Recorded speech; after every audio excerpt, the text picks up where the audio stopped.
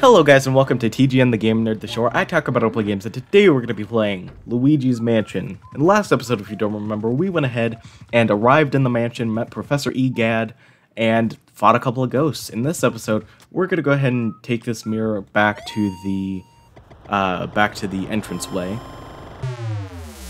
Because, like we saw in last episode, you can use those to teleport all the way to the foyer, or the foyer, however you pronounce it. Head over to the left door and...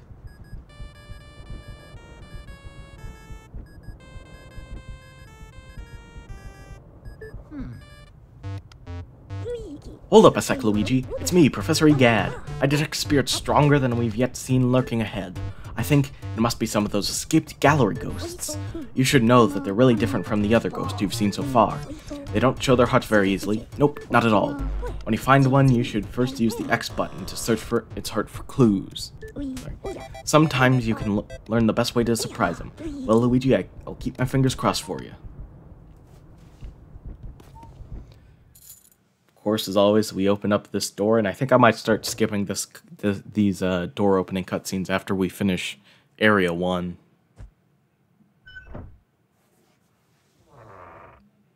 Yeah, because they're quite slow. Got a large trail of money leading right to this door, and an interesting thing about this door, this right here is a real door. When we suck it up, it shakes. This door right here, when we suck it up, it doesn't shake. Also, when we go to our map, we can't see it. It doesn't lead anywhere. Well, it would lead to that room, but, you know, there's no... There's no door to be seen over there. That's because that's a fake door, and if you try to open it, you'll get hit, and you'll lose a bit of money. Now we want to head into the study. And right over here is Neville, our first boss ghost. Now first what we want to do is head over here, shake this chair, and we get a Speedy Spirit. Be careful because he can sometimes mess you up because you're right up against that chair. But anyways, we get a ruby.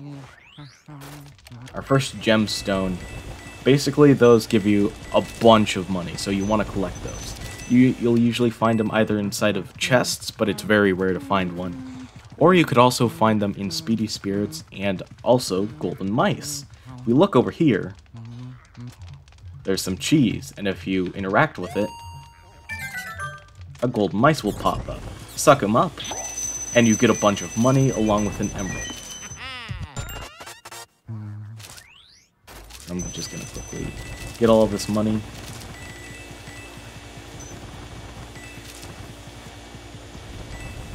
And now, finally, it's time to deal with this boss ghost. First, you want to go into first person view and examine him. Ho ho ho ho! Go ahead, try to find me. I can see you, but you cannot see me. So we, he can. The reason he's able to disappear is because he can see us. So we just need to wait for him to not be able to see us, and then suck him up. Now, when you're sucking up a boss ghost, they have a lot more HP than a typical ghost, and they start dropping pearls. These basically also give you extra money, and the better you do on a boss fight, the better pearls you get. There are three tiers of pearls. And the big pearl is something you can only get, like, if I, I think if you do it perfectly, or if you get just really good. And then the other two pearls also give you a good amount of money, but not as good as the big pearl. Oh, yeah. We open up this chest and we get another key.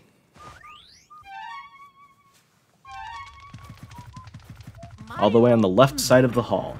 Also, you'll see a lot. Sometimes I go to open a door, but I press A just a split second too soon, and Luigi says Mario. Prepare to hear that a lot. And yeah, I'll go ahead and start skipping the uh, door opening cutscenes.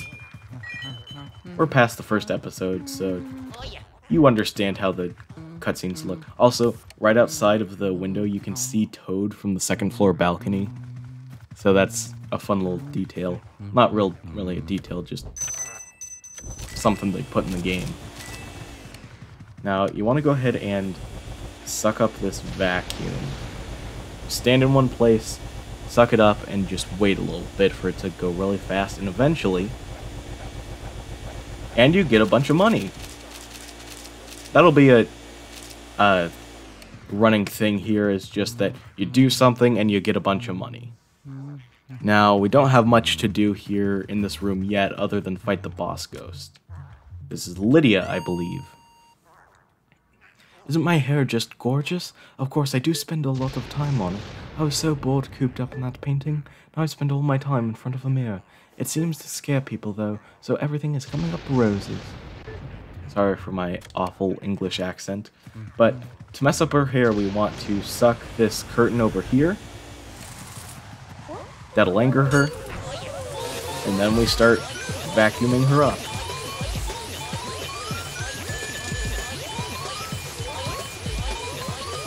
Um, will also start dropping poisonous mushrooms, which will uh, cause you to stop sucking on the ghost, as well as shrink you so you can't use your vacuum for a little bit. Just open up this chest, and we get another key.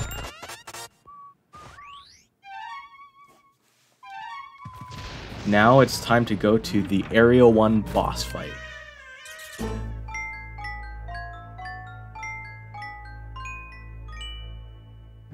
And when I say the Area 1 boss fight, I mean like the final boss fight of the area.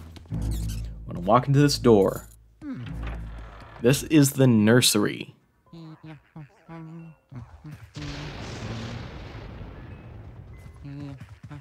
And there isn't much that we can do here other than we want to go ahead and first I'll just this is one of the few times that I want to interact with everything really quickly. Also, interesting note, uh, for future use, whenever you open mm-hmm. this up, mm-hmm. you'll, you'll always get a heart that heals a bunch of your HP. Mm-hmm. So if you're ever low on HP at any later point in the game, just come on over here, open this up, and you'll be good. We want to go ahead and interact with him. Horsey, Rocky, Horsey, what he says. Oh, yeah. Just want to cause the little horse thing over here to rock back and forth. Hey, want to play with me? And then he starts going after you, so you just want to take this toy ball and pop him in the head.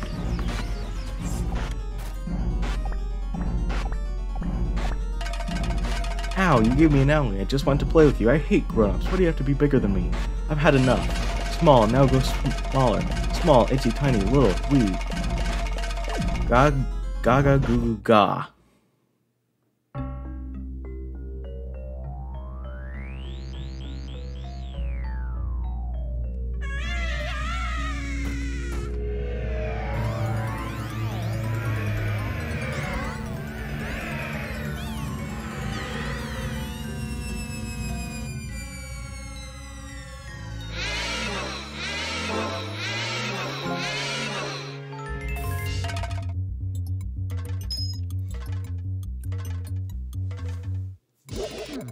This is Chauncey. Using magic, I guess, he shrunk us down to an incredibly small size, and now we have to fight him. That cry that he does at the beginning of the fight has always, like, it always terrified me when I was little. I'm gonna be going through a lot of things in this game where I tell you about stuff that absolutely terrified me as a kid. Anyways, you want to start sucking them up, and there's no way to do it in one shot. It has to be done across multiple shots. Uh, speedrunners actually, I forget the exact number, but they but they get them down to a certain HP uh, specifically so that it takes less time to suck them up the second time. He keeps throwing horses at you. And then he takes. Wait, no, never mind. Starts throwing uh, the uh, the balls at you again.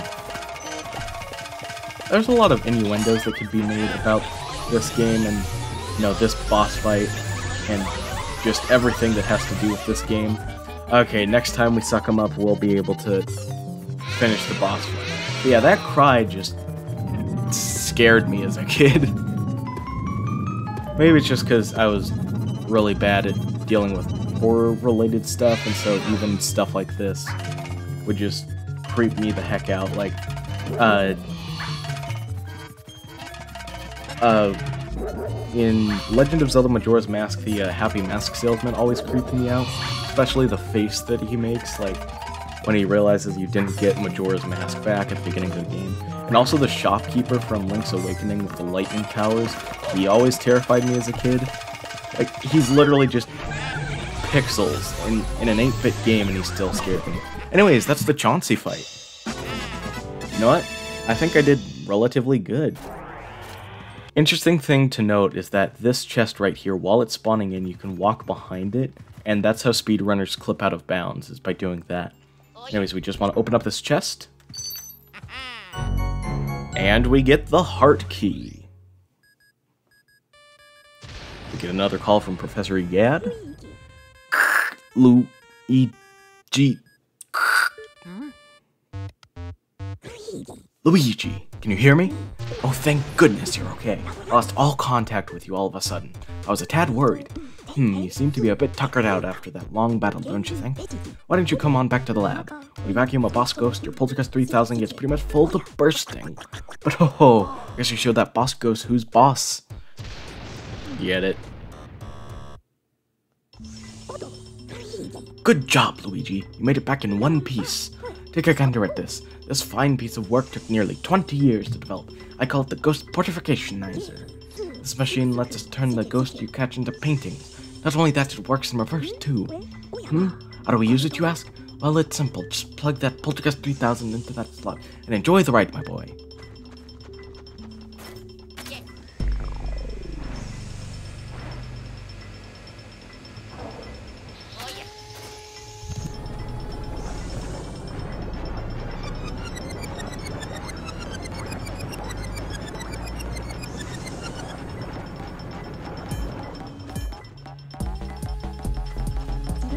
The ghosts are invisible, so we need to press them into visible form. And presto, turn into beautiful ghost portraits.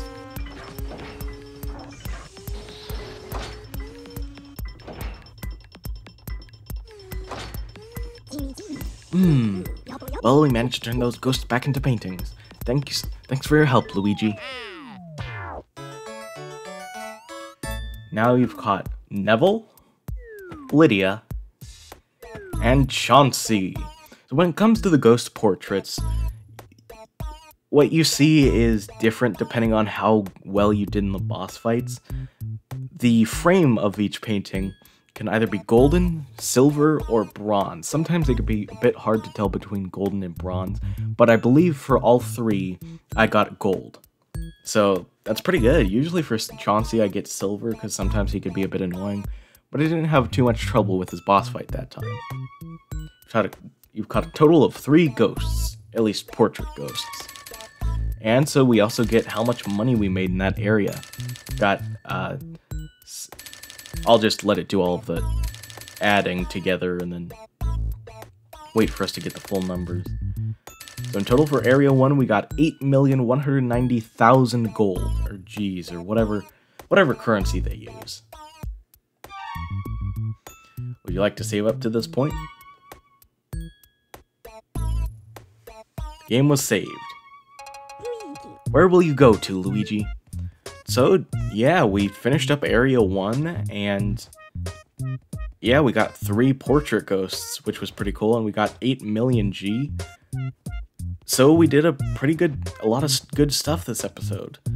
Thank you guys so much for watching. In the next episode, we're going to go ahead and head back to the mansion, go to Area 2, and see what else we can do there. Hope you guys enjoyed, and I'll see you guys next time. Bye-bye!